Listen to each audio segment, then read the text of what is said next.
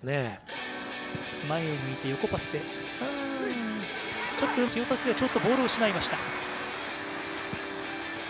この辺りの強度の高さってのは東京いいですね。止めに行きます。セレストしかし中に割って入りました。いいパスだそしてフィニッシュチャンスを迎えるか。ここでレアンドロ。フィールドプレーヤーが随分センターサークル中心にまとまりました。キム・ジンヒョンです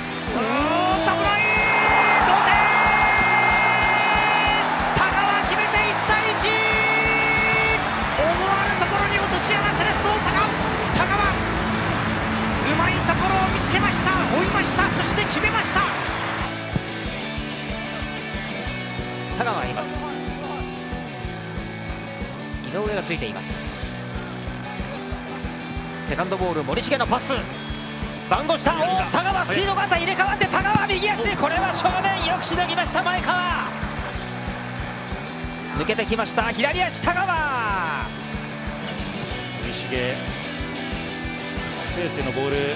ちょっと動きが逆になりましたけどね、えー、今。残して。なとは思いますけど、さあ寄せて奪った FC 東京田川からディエゴ・オリベイラチャンスになる。渡辺龍馬。こぼして。沈めた。追いつきまして FC 東京。38分です。FC 東京同点。ロングボール前線ボックス内田川だ田川基本的にはねそんな変わりなくやれるんじゃないですかね。このファーストバンクはツンと伸びていきます。田川が追います。そしてこれをキープして1対1の仕掛けに入りましたがここ中仕掛けに入ったんですがボールを奪われました。あ両さあ三田が包まれた。田川から三田へ三田!渡辺剛後方から。